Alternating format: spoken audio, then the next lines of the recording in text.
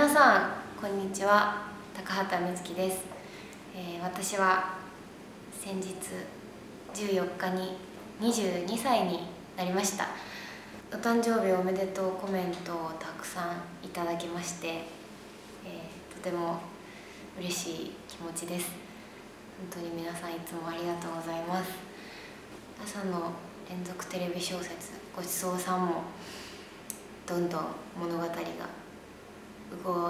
ましてきっと目が離せない展開になってるんじゃないかなと思います。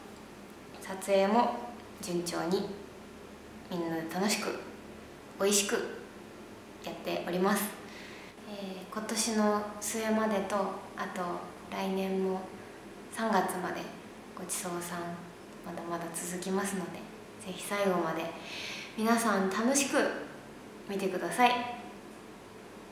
Bye, bye.